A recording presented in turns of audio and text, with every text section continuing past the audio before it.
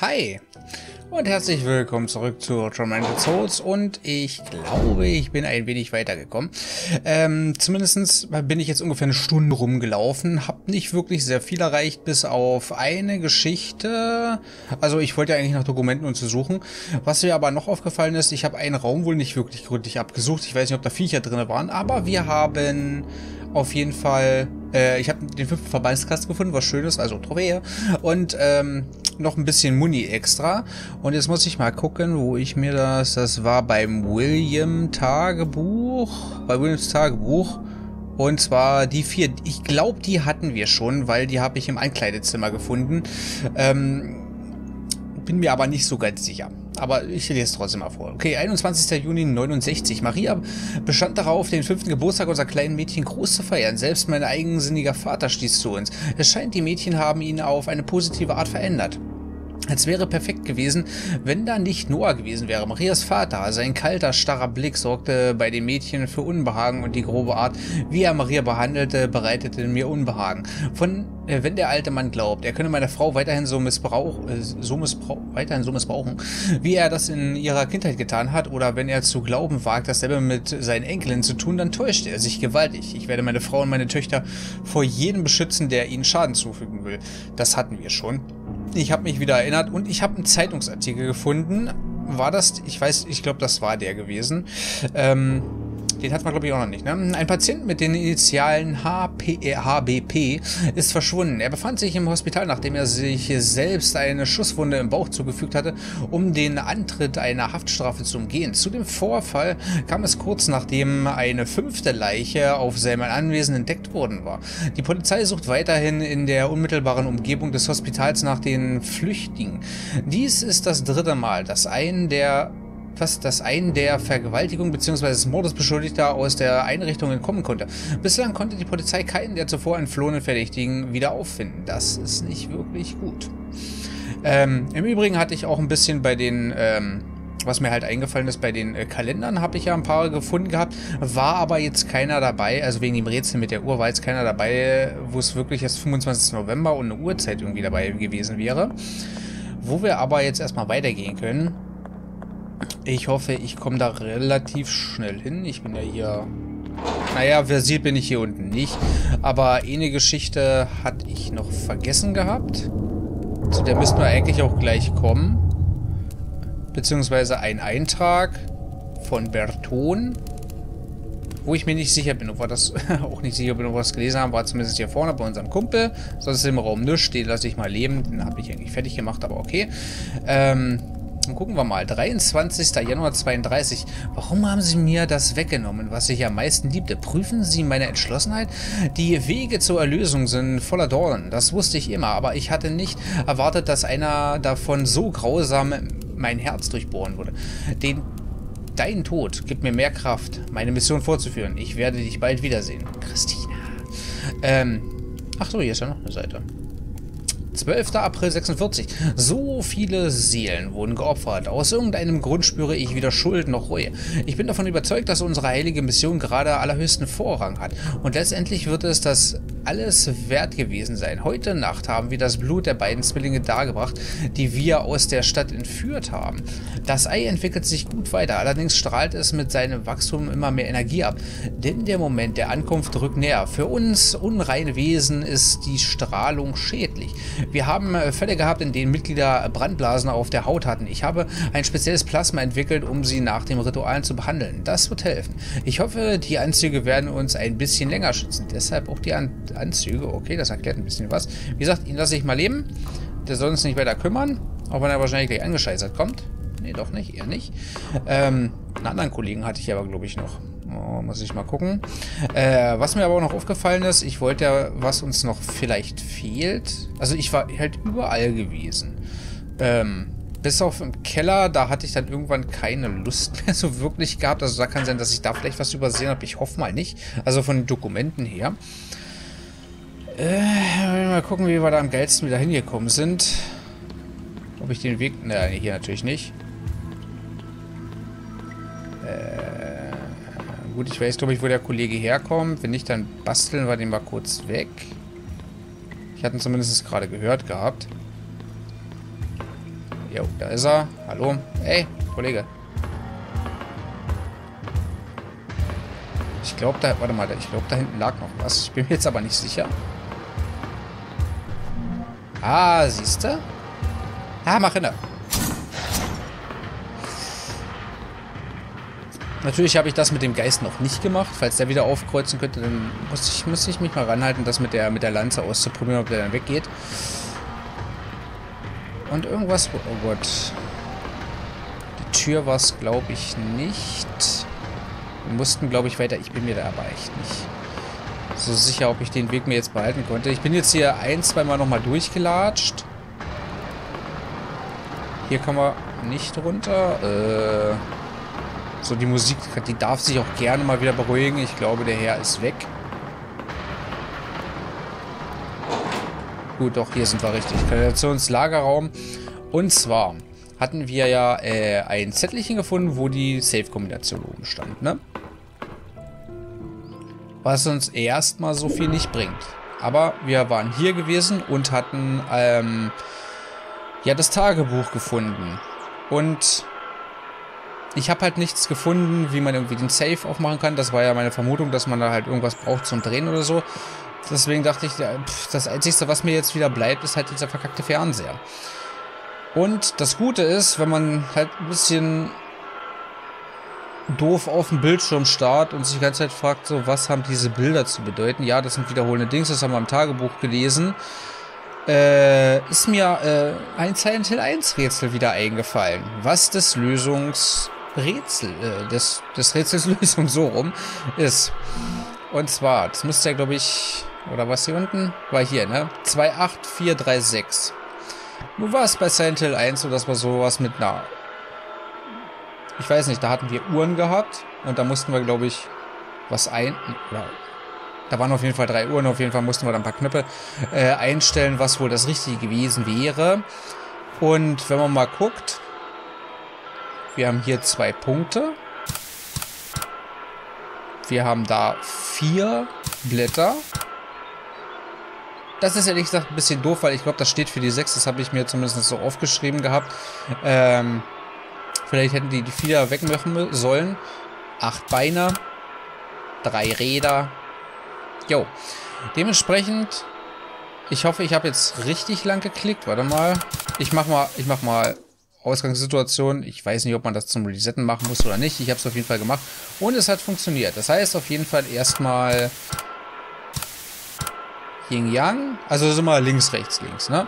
So hatte ich es, glaube ich, gehabt. Dann die Spinne. Ich habe es mir extra mal aufgeschrieben. Dann der Klee. Der Klee.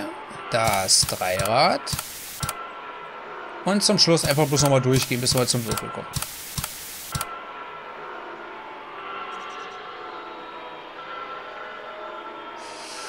Das ist der Traum.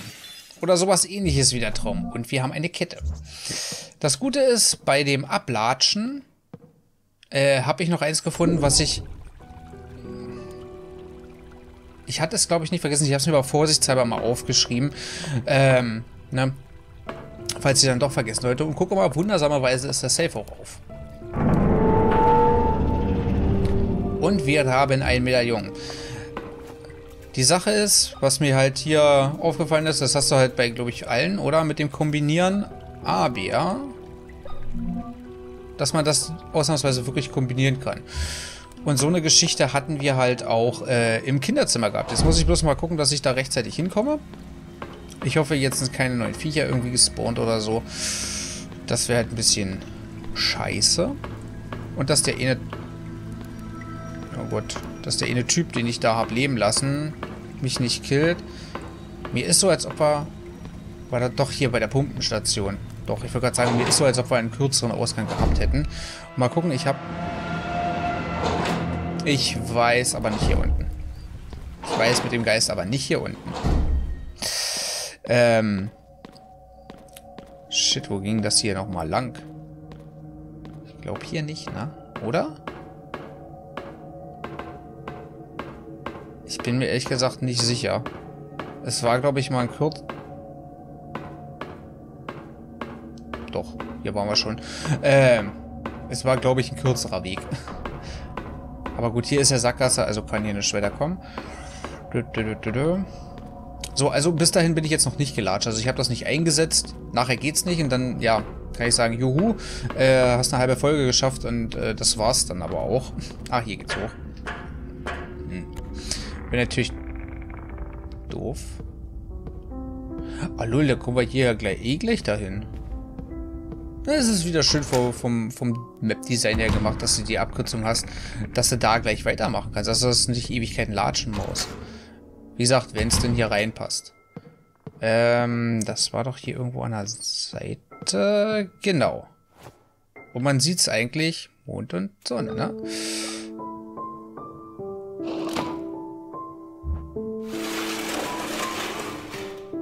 Aha. Ein verstecktes Räumchen. Auch nicht schlecht.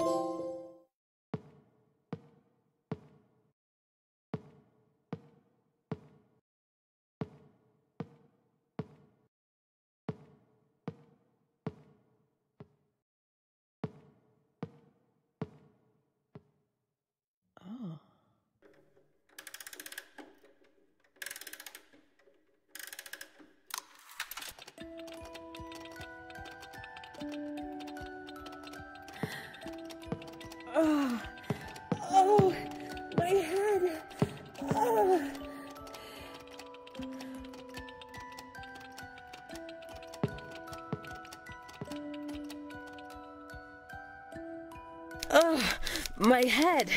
What is this? I know this song. I know it. It's the song my sister and I used to listen to when we were children. My sister. My sister Anna. Oh mein Gott. Okay. Lag ich richtig. I remember. I am Emma, the girl who fell from the bridge 14 years ago. Deshalb auch das Auge. Also, wie gesagt, das ist mir dann wie Schuppen von den Augen gefallen mit dieser Tür unten. Wir haben übrigens aber auch noch eine andere Tür, die relativ groß ist in der Haupthalle. Die habe ich auch komplett vergessen. Da können wir auch irgendwas einsetzen. Die Sache ist, was ich mir aber überlegt habe, weil ich habe ja in die Trophäen reingeguckt, ähm, ob es vielleicht eine Möglichkeit gibt, unsere Schwester da nochmal rauszuholen. Deshalb müssen wir vielleicht nochmal ins Video rein. Das, also, ich war da zwar schon mal drin, um zu gucken, aber war halt immer noch so, ich vertraue dir nicht. Vielleicht haben wir hier irgendwas, um das Vertrauen zu gewinnen, damit wir sie rausholen können. All this time, I've kept the traumatic memories hidden inside my head. But this song has set them free. Was mir übrigens noch einfällt, ich habe ja zwischendurch nochmal gespeichert, sie hat nochmal was gesagt. Also bei dem Dings, ne, das haben wir jetzt natürlich nicht drauf, sie wird es ja nicht wiederholen. Also sorry dafür. Anna, you have been alone in the dark this whole time. I don't know if you are still there, but I promise I will do everything in my power to find you. It's time to find out what's behind the vault door in the sewers.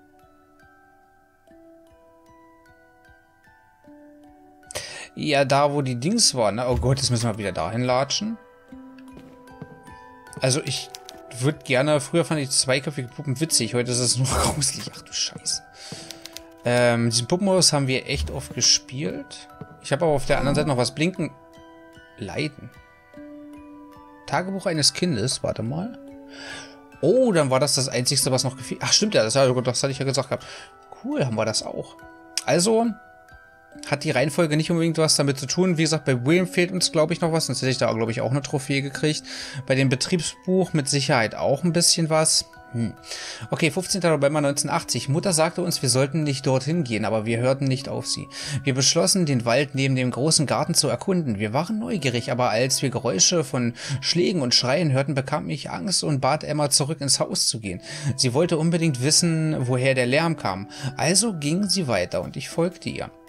Wir sahen drei Männer in Ganzkörperanzügen auf einer Lichtung. Sie standen unter großen, mit Symbolen versehenen Felsen und schlugen mit Hämmern auf einen rotbefleckten großen Sack, der sich so, äh, der sich zu krümmen schien.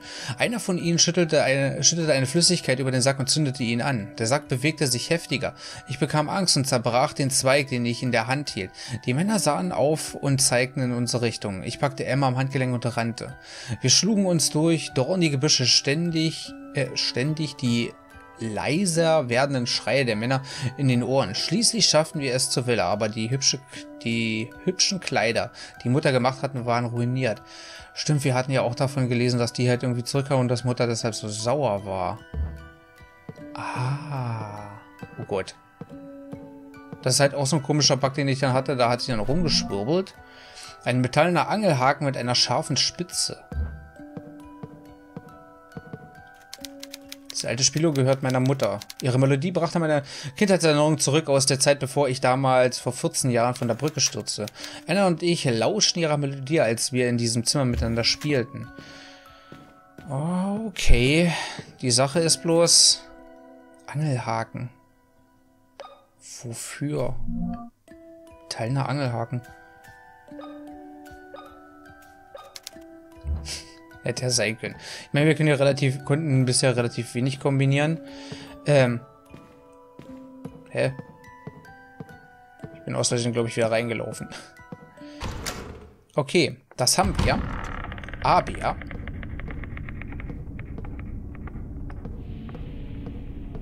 Warte mal, den kurz... Hä?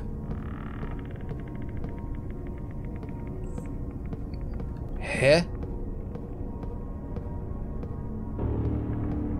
Sich jetzt der Raum geändert? Also, wir können jetzt... Entschuldigung. Boah, furchtbar. Ich wollte gerade sagen, wir können, konnten ja aus gutem Grund hier gerade nicht mehr zurück. Und Dings ist auf einmal weg.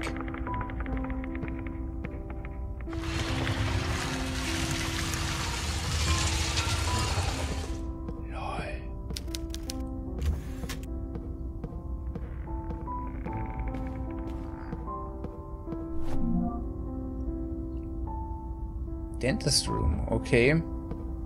Yeah, ab zum Zahnarzt würde ich sagen. Ich will aber trotzdem, bevor wir in den Raum reingehen. Warte mal, wo bist denn du? Ich will das jetzt wenigstens mal ausprobiert haben, damit ich sagen kann, yo.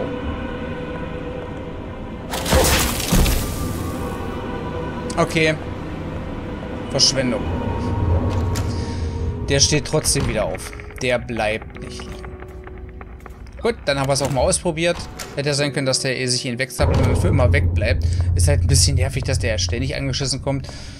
Gut, wenn man jetzt begriffen hat, okay, man muss eigentlich bloß den Raum wieder wechseln, dann ist er weg, dann, dann geht das schon.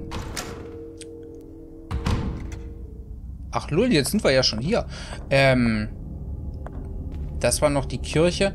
Ich, ich meine, ich will das bloß versuchen, zwecks der Erinnerung. Also, ob wir, ob wir sie da rausholen können. Experimentierer, Zahnarzt noch nicht. Doch, Experimentierraum. Wie gesagt, lass uns bloß mal kurz gucken, wenn wir jetzt wissen, dass das unsere Schwester ist. Vielleicht dient der Angelhaken als Beweis oder so. Ich, ich weiß es nicht genau. Nee, Quatsch, warte mal. Ansonsten halt, ja, ich werde sowieso ins Video reinkicken, aber wir müssen halt auch nochmal runter. Das Ding ist bloß, ich habe da keine Tür im Gewölbe gesehen. Okay, steht immer noch da. Ja, ich komme da aber auch nicht rein, ne? Also... Passt nicht. Shit. Keine Ahnung, ob es eine Möglichkeit gibt, sie rauszuholen. Also, dass sie dann auch wieder lebt. Hm. Heißt also... Äh... Wo ist denn... Ach, hier. Heißt also, wir müssen einfach mal schauen was uns das Dings bringt, das andere Tape. Äh, nee, warte. So. Rausholen.